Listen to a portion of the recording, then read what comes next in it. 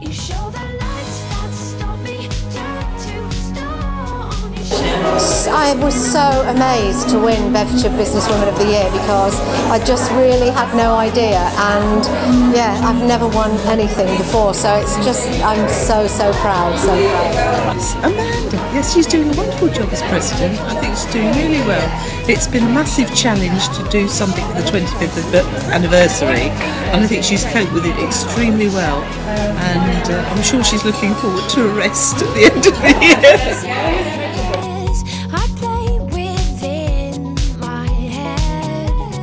It's been um, uh, challenging at times, um, uh, but Amanda, our president, has just been fantastic.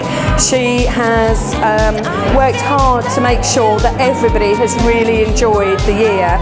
She's put on some fantastic events. She's used a lot of creativity, and Amanda and I will be working together in the future. So it's not it's not as if it's a goodbye. It's just uh, uh, she'll be doing different things. Well, I've not been part of it for very long, but from what I've experienced so far, she brings a real energy to everything. Um, she's very proactive about everything that she does um, and is a very popular member and she's been fantastic. I wish her the very, very best of luck.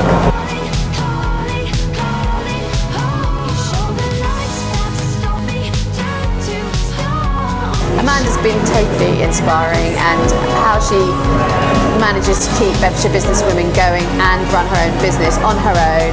I mean, I'm extremely lucky. I have the support of my family and my husband, and, and, and Amanda runs her business and her home single-handedly. And BBW, she's on top of everything all the time. She's amazing, inspirational.